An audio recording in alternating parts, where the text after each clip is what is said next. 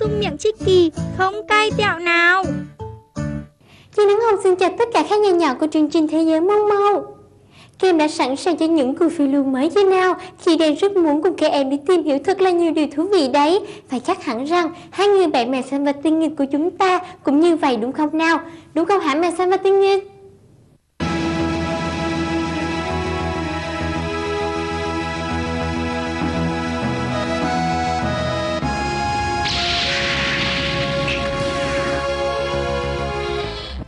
Tất nhiên rồi chị Nắng Hồng ơi, em và Tinh Nghịch luôn mong đến lúc được đi khám phá những kiến thức mới cùng chị và các bạn nhỏ mà. Tinh Nghịch xin chào tất cả các bạn. Mèo xanh này, bạn vẫn chưa tiết lộ cho mình biết mục đích của cuộc hành trình ngày hôm nay đấy.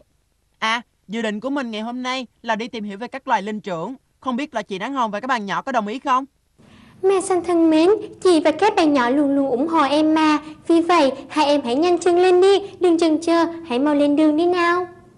Dạ, vậy thì chúng ta đi thôi Tinh Nghịch. Nhưng mèo xanh này, linh trưởng có biết bao nhiêu loài, chúng mình sẽ tìm hiểu về loài nào trước tiên đây? À, có lẽ chúng mình nên tìm hiểu về loài tinh tinh trước, bởi vì đây là loài động vật khá quen thuộc với chúng ta, nhưng lại còn ẩn chứa rất nhiều bí mật đấy. Vậy thì bạn mau giới thiệu cho mình và các bạn nhỏ về loài động vật này đi. Tinh tinh là tên gọi chung cho hai loài trong cùng một chi tinh tinh. Được biết đến nhiều hơn là tinh tinh thông thường, sống ở Tây và Trung Phi. Họ hàng gần nhất với nó là tinh tinh lùn, được tìm thấy tại các cánh rừng của Congo. Ranh giới địa lý giữa hai loài này là sông Congo. Thật là thú vị phải không hả các em? Chúng mình hãy cùng nhau tiếp tục theo dõi cuộc hành trình của mèo xanh và tinh nghịch nhé. Tinh tinh được trưởng thành có thể cân nặng từ 35 đến 70 kg và cao từ 0,9 đến 1,2 m khi đứng thẳng. Trong khi thông thường tinh tinh cái chỉ cân nặng 26 đến 50 kg và cao từ 0,66 đến 1 m mà thôi. Vậy còn tuổi thọ của chúng thì sao? Tinh tinh hiếm khi thọ qua 40 năm trong điều kiện sống hoang dã, nhưng có thể sống tới 60 năm trong điều kiện giam giữ đấy. Tinh nghịch ơi, hồi nãy chị nghe mèo xanh nói về loài tinh tinh lung, em có thể cùng mèo xanh tìm hiểu giúp chị về sự khác nhau giữa hai loài tinh tinh này không? Dạ được chị ạ. Mèo xanh ơi, tinh tinh thường khác tinh tinh lùn như thế nào? Các khác biệt về giải phẫu giữa tinh tinh thông thường và tinh tinh lùn là không đáng kể, nhưng về thói quen sinh hoạt cộng đồng thì khá khác nhau. Tinh tinh thông thường là loài ăn tạp, chúng có thể có hành vi săn mồi bằng một đội quân. Các con đực do một con đực đầu đàn dẫn đầu và có quan hệ cộng đồng rất phức tạp. Trái lại, tinh tinh lùn chủ yếu là loài ăn thực vật và có quan hệ cộng đồng ít phức tạp hơn. Thế còn hình dáng bên ngoài thì sao? Ừ, ở cả tinh tinh và tinh tinh lùn đều có lớp da mặt, hai bàn tay, hai bàn chân, màu từ hồng tới rất sẫm. Nhưng các con non thì sáng hơn và sẫm màu hơn khi chúng đã trưởng thành. Tinh tinh lùn có tay dài hơn và có xu hướng có dáng đứng thẳng hơn tinh tinh thông thường. Tinh tinh thường sống thành đàn từ 20 đến hơn 150 thành viên. Trong đàn, tinh tinh đực đóng vai trò chủ yếu trong việc bảo vệ và tìm kiếm thức ăn cho cả đàn. Tinh tinh cái thì đóng vai trò chủ yếu trong việc chăm sóc và dạy dỗ con non.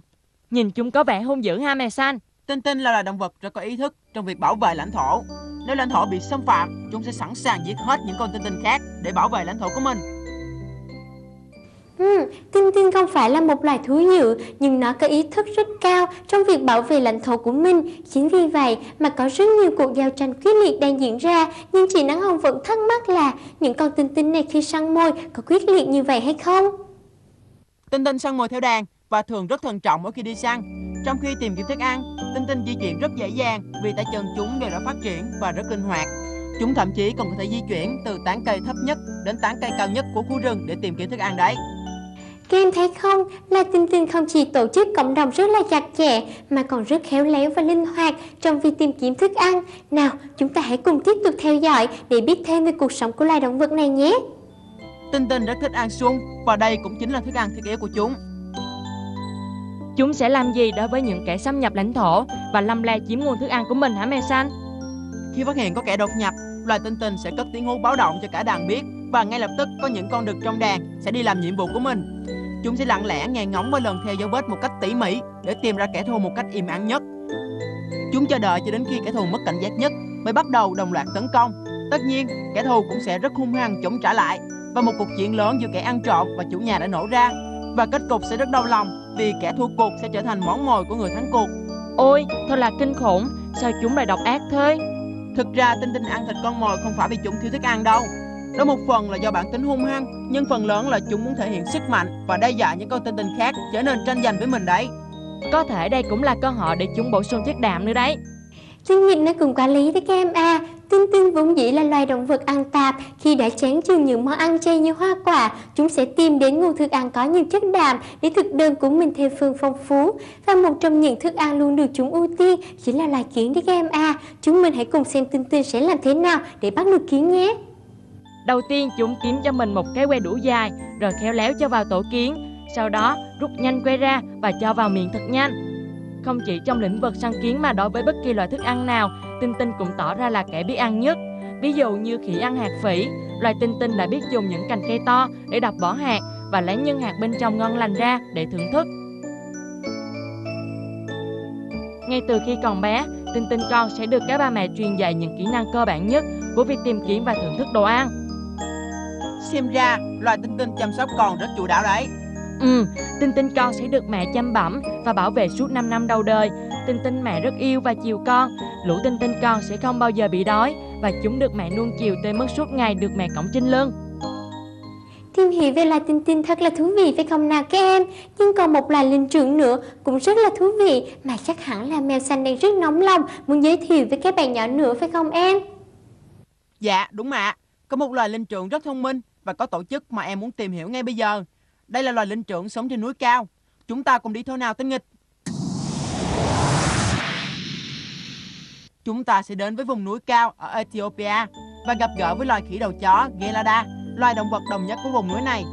Khỉ Gelada được mệnh danh là loài khỉ của cựu thế giới Và hiện nay chỉ tìm thấy ở các vùng núi Siemen thuộc Ethiopia. Wow, trông chúng đông đúc quá ha. Ừ, vì loài này Ừ, vì loài khỉ này sinh sống thành quần thể lớn nên số lượng thành viên trong đàn khá đông. Đàn ít nhất là khoảng 300 cá thể, còn cao nhất có thể lên đến gần 800 cá thể đấy các bạn ạ.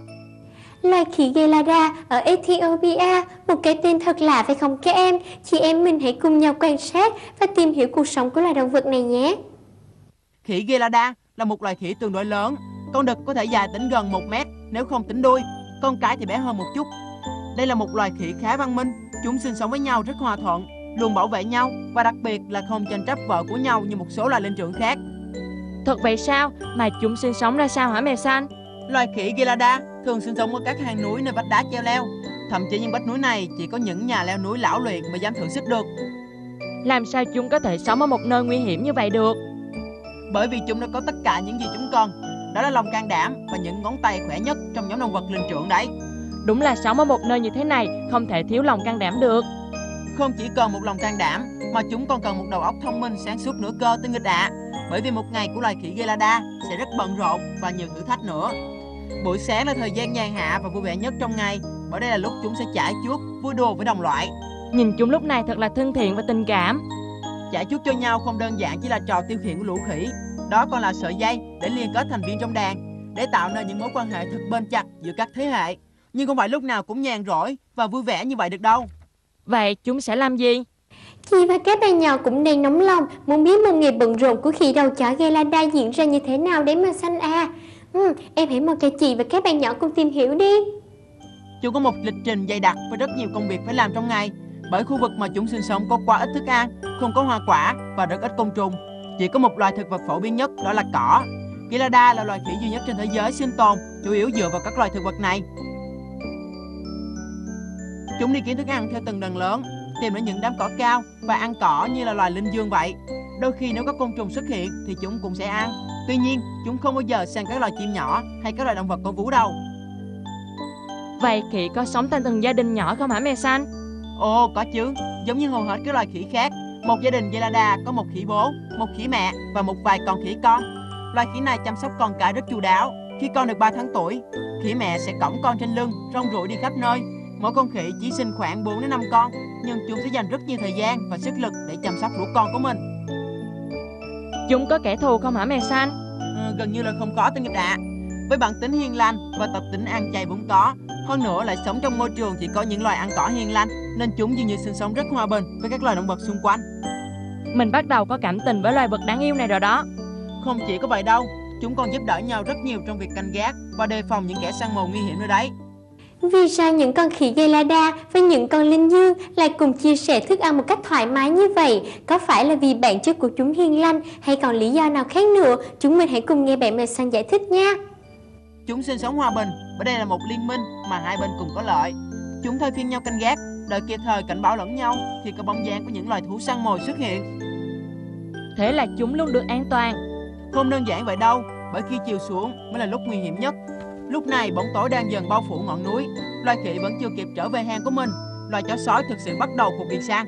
Chúng rình rập và tìm cách tiếp cận bầy khỉ. Nhưng bầy khỉ tinh khôn và luôn cảnh giác đã nhanh chóng phát tín hiệu báo động và cả đàn lập tức bỏ chạy thật nhanh, tìm về với vách núi của mình. Thế là con sói hết cơ hội săn mồi, đứng nhìn một cách tiếc rẻ, con đàn khỉ đã an toàn bên hang đá. Loài khỉ này quả thật rất tinh khôn và nhanh nhẹn. Chúng không bao giờ đi quá xa nơi sinh sống của mình. Chúng luôn sắp xếp để khi đi kiếm thức ăn, những con khỉ cái và khỉ con sẽ ở vị trí gần hang nhất, còn những con khỉ đực khỏe mạnh sẽ kiếm ăn xa hơn. Vì thế khi có tín hiệu báo động, khỉ cái và khỉ con sẽ chạy về tổ nhanh hơn và như vậy sẽ an toàn hơn. Chúng quả thật quá khôn khéo, chúng ta cũng nên học tập điều này đấy. Ừ, phải luôn ưu tiên phụ nữ và trẻ em chứ. Các em thân mến, vậy là ngày hôm nay chị em mình đã cùng hai bạn mèo xanh và tinh nghịch cùng nhau đi tìm hiểu thật nhiều điều mới lạ về cái loài linh trưởng rồi. Chị hy vọng chương trình đã mang đến cho các em thật nhiều kiến thức bổ ích. Còn bây giờ đã đến lúc chị phải chia tay với các em rồi. Nhưng nếu có câu hỏi hay bất kỳ thắc mắc gì, các em hãy gọi ngay đến tổng đài 1900 571 525 hoặc viết thư về cho chương trình theo địa chỉ chi nắng hồng gmail.com hoặc mèo xanh tinh nghịch gmail.com để được giải đáp các em nhé. Xin được cảm ơn nước súp miệng trẻ em Chicky đã tài trợ cho chương trình này. Chị đang học tạm biệt tất cả các em. Tạm biệt các bạn.